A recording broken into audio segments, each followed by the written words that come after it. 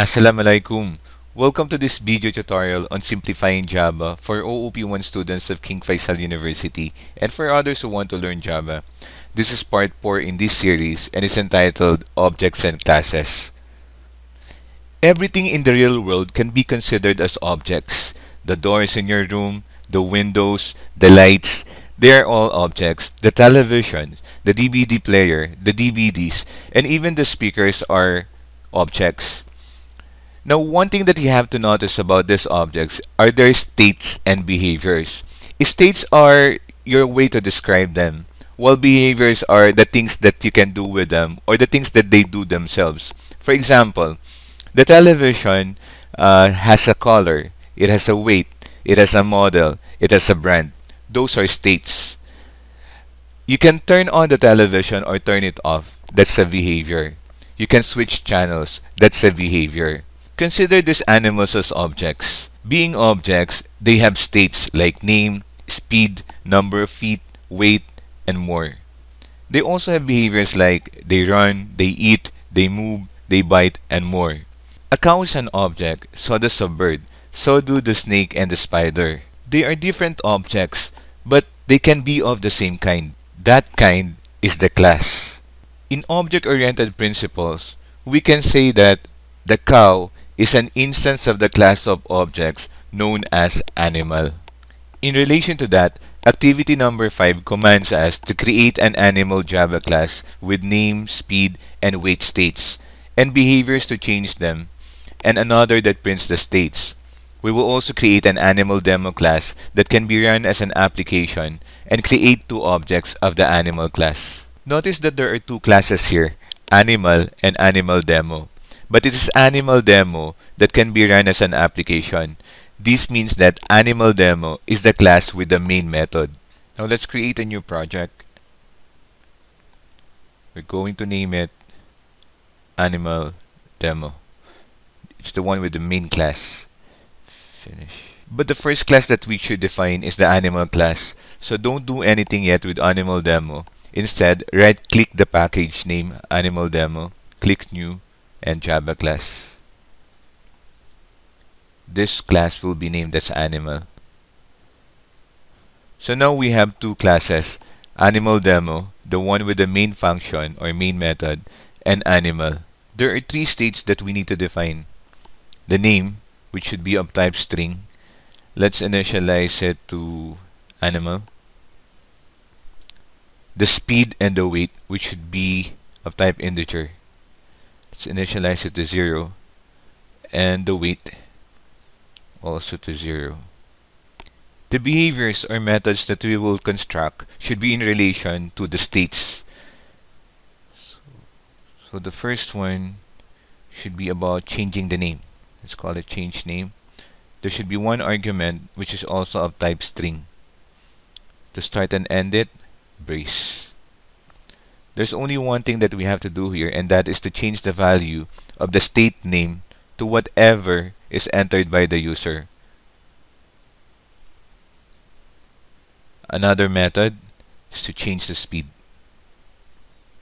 It has also one argument. It's called S.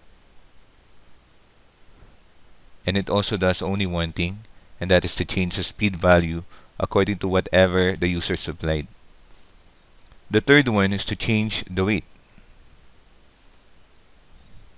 It will also have one argument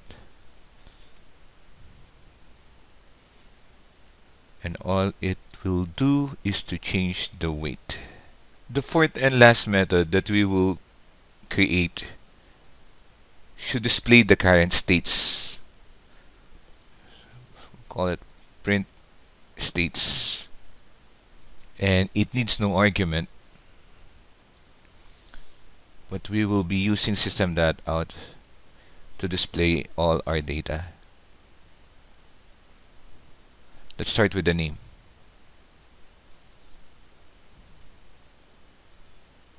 Since I'm using print line I will use plus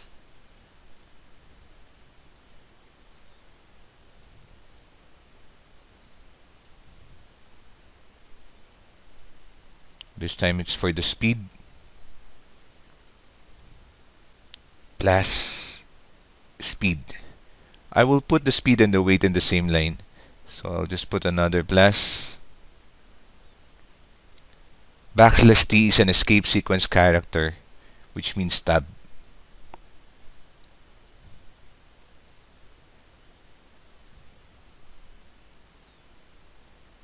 And to provide another space, we will put the escape sequence backslash n.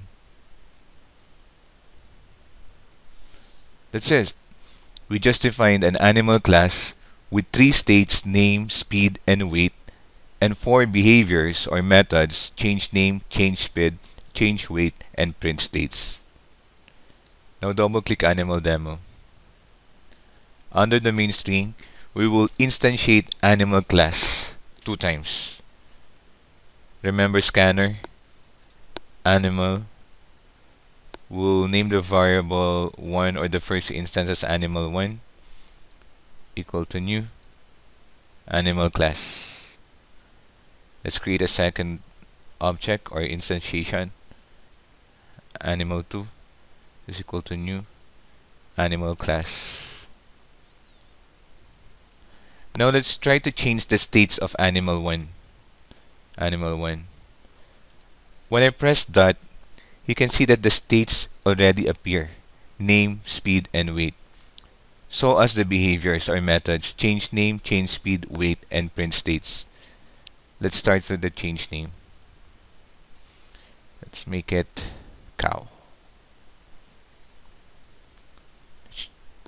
Let's also try to change the speed.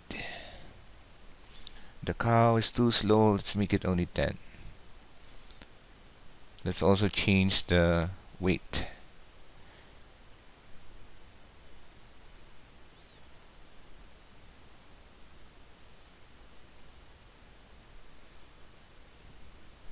Let's make it 500. Now we can print the states. Let's do the same thing for animal 2. animal 2 change name. Call it eagle. Animal 2 change speed. Is faster than the cow. Let's make it 100 animal 2 change weight he's lighter Let's make it only 50. Now let's print the states. Okay, that's it. Let's try to run the program.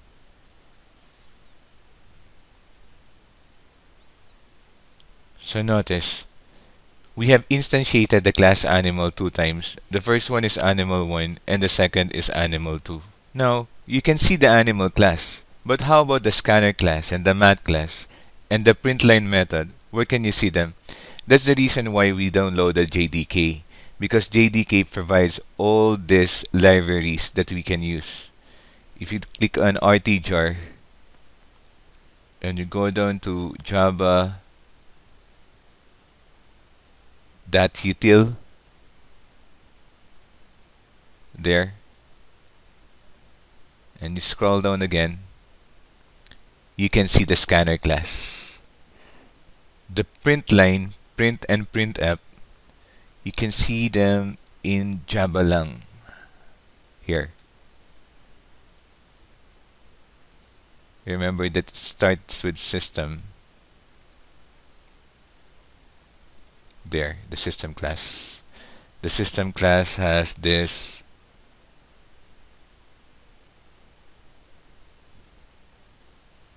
out object from the print stream.